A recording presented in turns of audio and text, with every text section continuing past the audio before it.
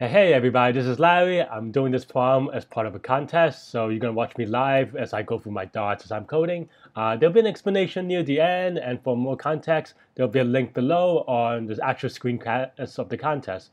Uh, how did you do? Let me know how you do. Hit the like button, hit the subscribe button, and here we go. Q1, uh, maximum product of two elements in an array.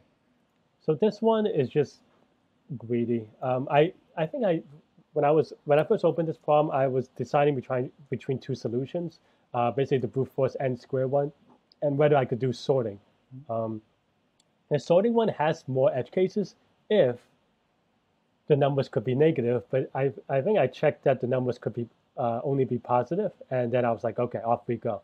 So we just sort, and then we ran ran away with it uh, we it, and we took the two biggest number and then we just multiply that gradient that way.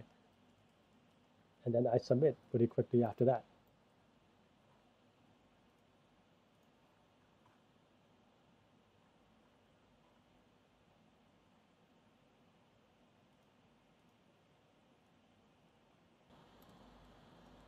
Uh, maximum product of two elements in array, Q1. So yeah, so this one, I just did it greedy. I just sorted the the the array, and I take the uh, the biggest number, and then the sm- second biggest number, subtract one, and then multiply them. Uh, the thing that I did look for was to make sure that these are positive numbers, because if you're negative, if you have negative numbers, this won't work. But as soon as I saw that it is positive, then I just did it, and it'll be okay. You could have also just did it with two for loops because n is equal to 500. Um, I maybe I should have gone done it that way just because that would have been less thinking, slightly. But I got it in about a minute, so I'm I'm okay on this particular problem. But yeah, but you could do a brute force. I did it with sorting and choosing the maximal elements. Um, cool.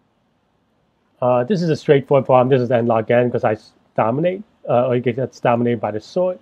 Um, but you could probably, in theory, quote unquote, write a linear time algorithm based on based on the fact that numbers can only go up to a thousand or something like that, right? So, but I think that's kind of half cheating, so whatever.